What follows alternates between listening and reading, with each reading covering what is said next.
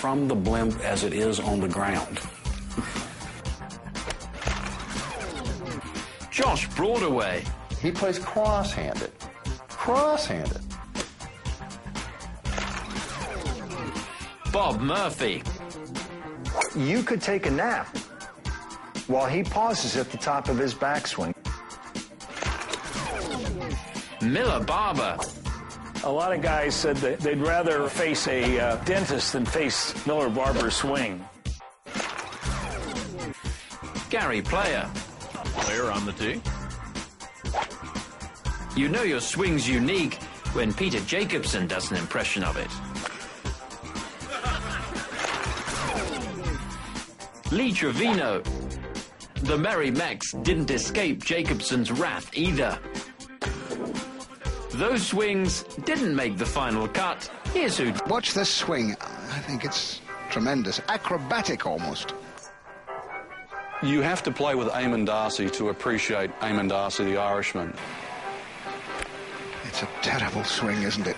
It's unusual. And it's one in thousands. We used to call him chicken wing because his right elbow sort of floated. It looked like it was broken on the way back. It looked like jingling a, a handful of keys, but they were jingled with a beautiful rhythm. Keys never ever stayed together.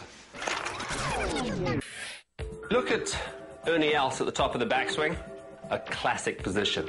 Now, let's have a look at Mr. Eamonn Darcy. Now, this is a classic in its own right. Look at the right elbow, parallel to the ground, left forearm, perpendicular to the ground, and how he gets there, I have no idea.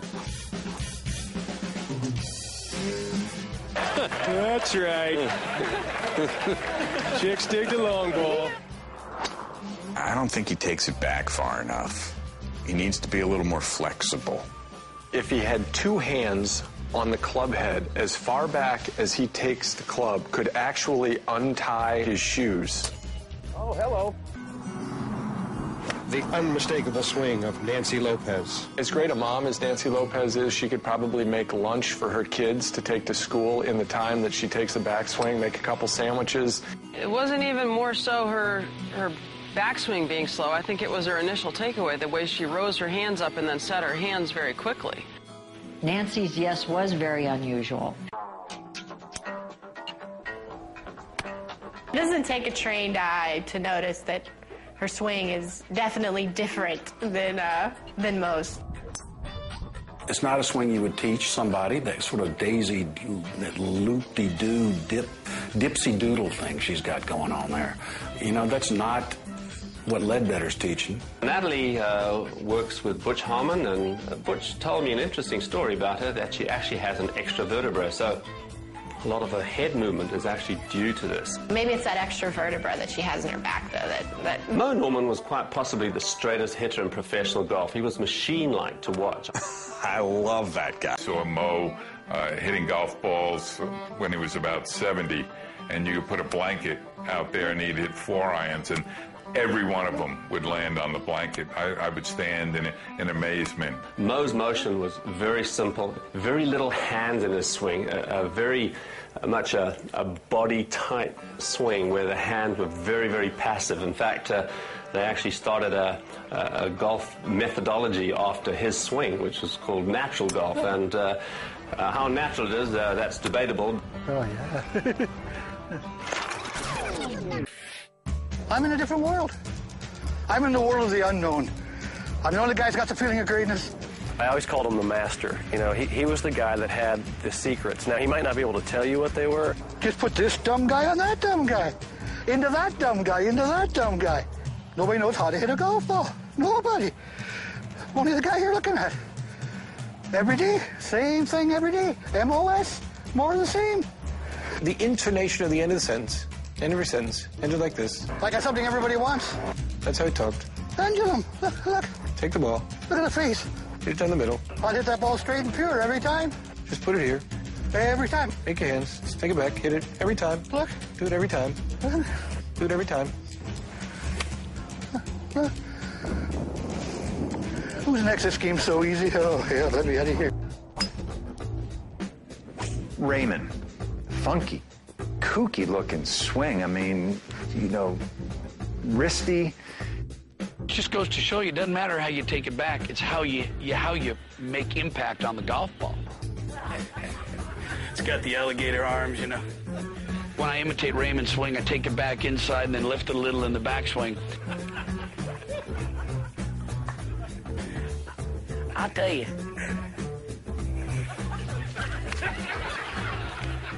Ladies and gentlemen, Raymond Floyd.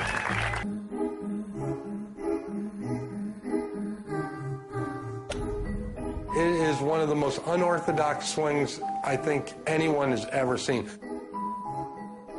It's almost a famous move at this point. I think Feherty said looked like an octopus falling out of a tree. It's almost weirder when you see it in person, up close. So you see it on TV and you're kind of like, oh, that's not so bad. But boy, you stand 10 feet behind him on the practice range, it's still pretty strange. I don't think my fundamentals are any different than from uh, uh, another guy that has a classic golf swing, but uh, you know, I think you should be allowed to have your own flair, your own style, or, or whatever's natural for you.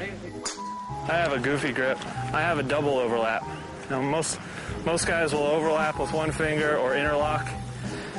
The double overlap really, for me, is has helped me become much more solid in transition.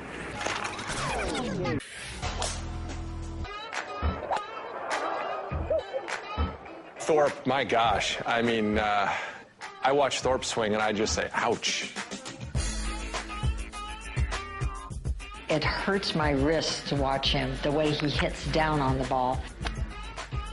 There's stuff flying all over the place. Uh, how his elbow stays attached to his forearm, which stays attached to his shoulder. I have no clue. Homegrown, you know what? It's my swing. You know what I mean? I heard Johnny Miller say one time that uh, my swing had more moves than Kung Fu. Jim Thorpe is built like Jim Brown. The swing is almost violent, but it's still artistic because it's so original. It's not exactly Sam Snead, but it's Jim Thorpe. You know, I got a swing on a mother could love. You know, my swing is ugly. I mean, it works. Don't get me wrong. I beat I beat a lot of guys with an ugly swing. I can't say enough about Jim Thorpe's swing. I've seen it now for 30 years, and it hasn't changed one bit. Few people realize that Jim Thorpe's helicopter swing is an anti-hook swing. That was his bugaboo back in the day. So with uh, a lot of work, he developed that very funny looking swing, but it's very effective. It's the grittiest, grindingest, that's a word, grindingest move belonging to a great player. He swung so hard at it, and his head would bob as he watched the ball fly, and the crowd reacting to him was just phenomenal. And we're all sitting back looking at Arnold going, this is our hero. This is the guy. Because of the way he could actually mash a ball. I think he drilled a hole in the wind there. His trajectory wasn't just up and, and carry, it was Get after it. I mean, just get after it. No videotapes. We're not working on mechanics. We are moving this white golf ball 260 down there, one way or another, come hell or high water.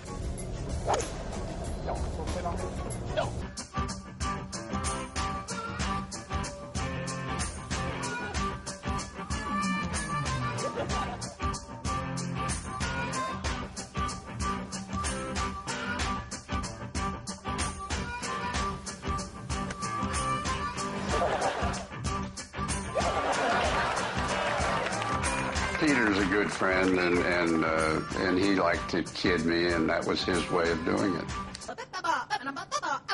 If you're a little squeamish, you might want to turn away. Charles Barkley swing. Well,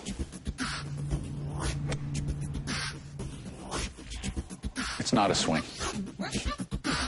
Hide the women and children. Oh, it's a borderline criminal act. Oh. oh. Did he kill anybody? Wow, is all I can say. Sorry. How could you best describe it? It looks a little bit like an epileptic seizure.